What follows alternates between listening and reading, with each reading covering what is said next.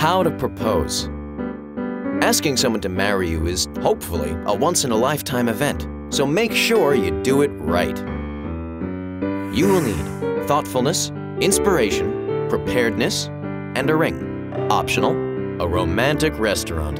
Step 1. Think about your intended. Is she shy or outgoing? Traditional or modern? Deeply private or borderline exhibitionist? Would she be touched if you asked her dad for her hand in marriage? Or offended?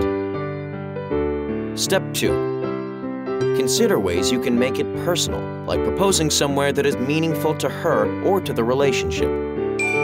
You can't go wrong proposing in a romantic restaurant over a candlelit dinner, according to one survey. Step 3. Propose when she's not expecting it. 90% of women polled said they want to be surprised because that's what makes an engagement memorable. If she's expecting a proposal on a holiday, like Valentine's Day or Christmas, do it a day or two early. Step 4. Give some thought to how you can make the moment special. But don't create such an elaborate scenario that it will all fall apart if one thing goes wrong.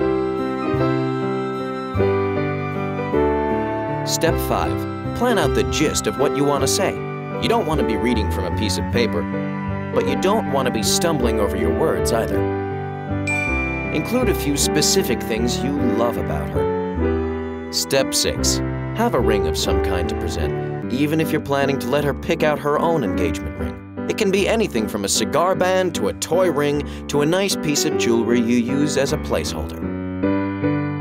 Step 7. Get down on one knee. Surveys show that this is the way an overwhelming majority of women want to receive a proposal.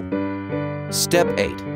Ignore all this advice and just propose when and where you feel like it. A spontaneous, sincere proposal can be the loveliest of all.